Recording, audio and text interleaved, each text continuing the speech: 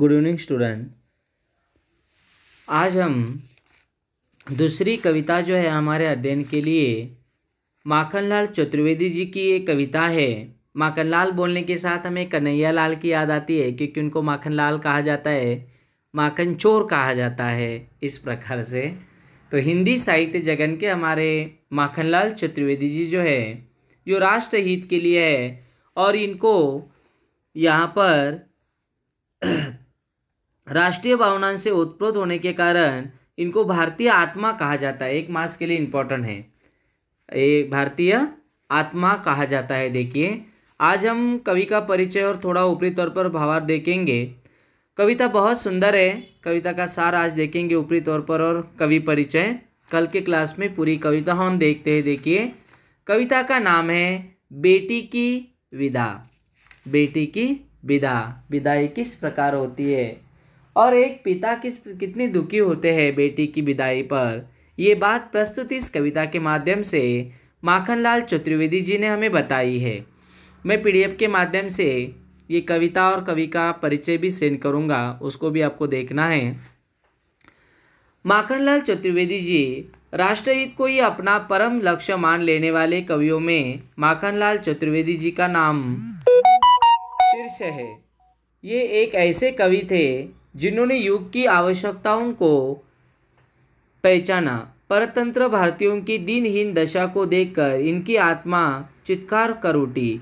राष्ट्रीय भावनाओं से ओतप्रोत होने के कारण ही इन्हें हिंदी साहित्य के क्षेत्र में भारतीय आत्मा के नाम से संबोधित किया जाता है। क्रांति के अमर गायक श्री माखनलाल चतुर्वेदी का जन्म सन अठारह में मध्य प्रदेश के बाबई नामक स्थान पर हुआ था। इनके पिता पंडित नंदलाल चतुर्वेदी अध्यापक थे।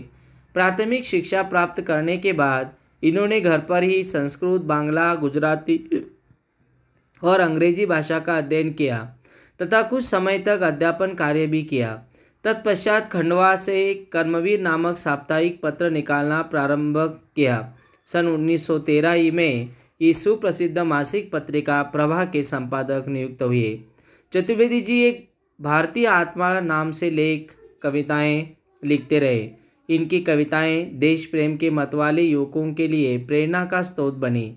श्री गणेश शंकर विद्यार्थी की प्रेरणा तथा साहचर्य के कारण ये राष्ट्रीय आंदोलनों में भाग लेने लगे।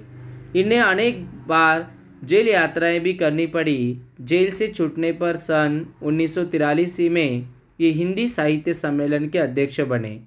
हरिद्वार में महन शांतानंद की ओर से चांदी के रुपयों से इनका तुलादान किया गया। पहले के लोग ये दान, तुलादान, ब्राह्मण आदि लोग बहुत करते हैं, देखिए। तो इसी प्रकार चांदी के रुपए इनके तुलादान में लगाए थे। भारत सरकार ने इन्हें पद्म विभूषण की उपाधि से विभूषित किया। मध्य प्रदेश सरकार ने भी इन्हें पुरस्कृत किया। अस्सी वर्ष की आयु में तीस जनवरी उन्नीस सौ को इस महान भारतीय आत्मा की वाणी सदा के लिए मौन हो गई। माखनलाल चतुर्वेदी जी का साहित्यिक जीवन पत्रकारिता से प्रारंभ हुआ। इनमें देश प्रेम की प्रबल भावना विद्यमान थी। अपने निजी संघर्षों, वेदनाओं और यातनाओं को इन्होंने अपनी कविताओं के माध्यम से व्यक्त किया। कोकिल बोली, शीर्षक कविता में इनके बंदी जीवन के समय प्राप्त यातनाओं का मर्मपर्शी चित्रण हुआ है। इनका संपूर्ण साहित्यिक जीवन राष्ट्रीय विचारधाराओं पर आधारित है। ये आजीवन देश प्रेम और राष्ट्र कल्याण के गीत गाते रहे। इनके राष्ट्रवादी भावनाओं पर आधारित काव्य में त्याग, बलिदान, कर्तव्य भावना और समर्पण के भाव निहित है। ब्रिटिश साम्राज्य के अत्याचारों को देखकर इनका अंतर्मन ज्वालामुखी की तरह धधकता रहता था। अपनी कविताओं में प्रेरणा, हुंकार, प्रणादना प्रताड़ना उद्बोधन और मनोहार के भावों को भरकर ये भारतीयों को, भारतीयों की सुप्त चेतना को जगाते रहे। भारतीय संस्कृति, प्रेम, सौंदर्य और आध्या, आध्यात्मिकता पर भी इन्होंने अनेक हृदय हृदयपर्शी चित्र अंकित किए हैं। चतुर्वेदी जी के काव्य का मूल स्वर राष्ट्र राष्ट्रीयवादी, राष्ट्रीयतावादी है। राष्ट्रीयता इनके काव्य का कलेवर है। तो भक्ति और रहस्यवाद, उसकी आत्मा। इनकी कृतियों का संक्षिप्त परिचय इस प्रकार है। कृष्णार्जुन युद्ध, यह अपने समय की प्रसिद्ध रचना रही। इनमें पौराणिक नाटक को भारतीय नाट्य परंपरा के अनुसार प्रस्तुत किया गया है। अभिनय की दृष्टि से यह अत्यधिक सशक्त रचना है। साहित्य देवता, ये चतुर्वेदी जी के भावात्मक निबंधों का संग्रह है। हिम तरंगिणी ये इनकी साहित्य अकादमी पुरस्कार से पुरस्कृत रचना है। कला का अनुवाद, यह इनकी कहानियों का संग्रह है। संतोष, बंधन शोक इनमें गणेश शंकर विद्यार्थी की मधुर स्मृतियाँ हैं। रामनवमी, इन कविताओं में देश प्रेम और प्रभु प्रेम को समान रूप से चित्रित किया गया है। युग चरण, समर्पण, हिम किरीटिनी और वेणुलो गुंजेधरा, इनके अन्य काव्य संग्रह है।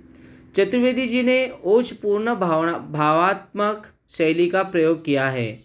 इनकी शैली में छायावादी लाक्षणिकता परिलक्षित होती है। चतुर्वेदी जी की कविताओं में कल्पना की ऊँची उड़ान के साथ ही भावों की तीव्रता भी दृष्टिगोचर होती है। माखनलाल चतुर्वेदी जी की रचनाएँ हिंदी साहित्य की अक्षय निधि है, जिन पर हिंदी साहित्य प्रेमियों को गौरवानुभूति होती है। इस प्रकार ये माखनलाल चतुर्वेदी जी भारतीय आत्मा के नाम से संबोधित किए जाते हैं। देखिए, इनका साहित्य के में बहुत सारा मतलब योगदान रहा है। साहित्य में इन्होंने बहुत अच्छे से अपनी लेखनी के माध्यम से राष्ट्रभक्ति राष्ट्र प्रेम आदि के बारे में लिखा है। देखिए, इसलिए इनको भारतीय आत्मा कहा जाता है। ये बातें काव्य सार इस प्रकार है देखिए, प्रस्तुत कविता का हाँ बेटी की विदा।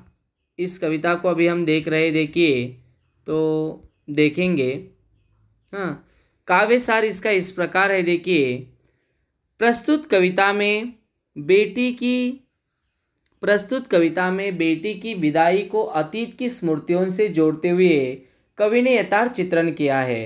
अतीत बीता हुआ कल एक समय था, बेटियाँ किस प्रकार से बचपन से लेकर बड़प्पन तक पाल पोस कर पढ़ा लिखा कर माता पिता उसको बड़ा कर देते हैं और बाद में एक दिन उसकी विदाई करनी पड़ती है। एक एक पिताजी तो अपनी बेटी को ही बेटा मानते हैं और इसलिए बेटी और बेटा इसका अंतर उनको शादी के बाद पता होता है, देखिए। हाँ तो समाज वाले लोग इस प्रकार उनको कहते हैं, लेकिन ये बेटियाँ मैके में जब होती है, तब किस प्रकार के माता पिता की प्यारी होती है? उसकी पाजे, पैंजन के आवाज़ से खनकने तक, खनकने से लेकर बड़प्पन तक की यादें माता पिता के मन में बसी होती है, देखिए। तो आगे देखिए, प्रस्तुत कविता में बेटी की विदाई को अतीत की स्मृतियों से जोड़ते हुए कवि ने यथार्थ चित्रण किया है। बेटी जब ससुराल जाती है तब एक तरफ़ उसका नए परिवार में मिलन होता है और दूसरी तरफ़, जहाँ वह बचपन से अब तक रही है, उस परिवार से, उस परिवार से बिछुड़ने का दुख होता है। कवि ने उसके जीवन से जुड़े सभी प्रसंगों को काव्य पंक्तियों में समेटने का प्रयास किया है। एक पिता जो अपनी बेटी को बेटा कहकर पुकारता रहता है, उसे लगता है कि यह उसका पागलपन तो नहीं है। वह जब उसे विदा करता है तो अकेलापन महसूस करता है और अपमानित सा होता है और जैसे खुद के आंसुओं की धारा से, धारा में ही बहता चला जाता है। इस प्रकार कवि को बेटी के रहते अपने घर में बिताए हर मौसम, त्यौहार, उसका प्रत्येक रिश्ते, नाते से व्यवहार सब कुछ याद आ जाता है। इस प्रकार एक पिता का हृदय एक पिता के हृदय का मर्म पर्ची वर्णन प्रस्तुत इस कविता में हमें देखने को मिलता है। बेटी की विदा। बेटी की विदाई किस प्रकार होती है और कौन कौन सी यादें प्रस्तुत इस कविता के माध्यम से? माखनलाल चतुर्वेदी जी ने हमारे सामने रखी है, उसको देखेंगे।